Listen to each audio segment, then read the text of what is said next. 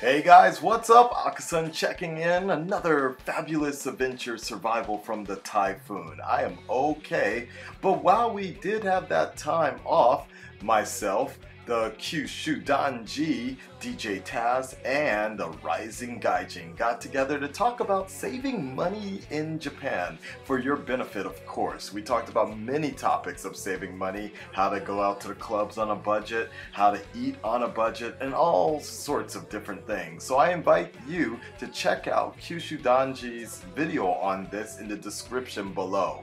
I'll leave a link just for you guys. Check it out and let me know what you think. I think you're gonna really enjoy it. Ta ta.